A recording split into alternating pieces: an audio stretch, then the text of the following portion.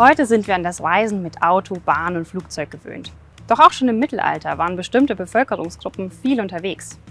Wie schnell man dabei vorankam und vor allem, wie man sich auf Reisen schützte, das klären wir jetzt bei 2 Minuten Wissen.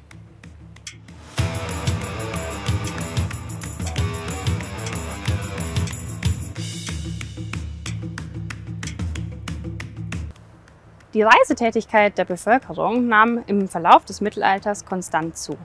Pilger machten sich auf den Weg zum nächsten Schrein oder nahmen sogar den weiten Weg nach Rom oder Santiago auf sich. Boten und Gesandte übermittelten Nachrichten.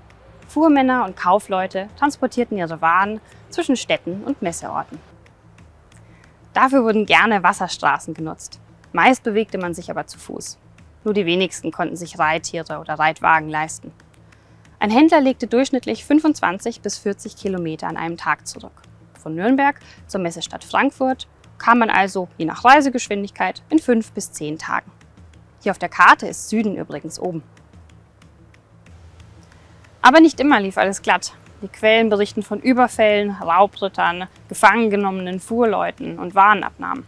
Doch wie konnte man sich nun dagegen absichern? Beliebt war zum Beispiel das Reisen in größeren Kaufmannszügen.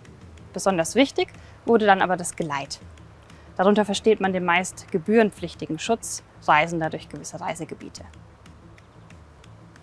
Das Mitführen eines Geleitsbriefes konnte die Sicherheit Einzelner erhöhen.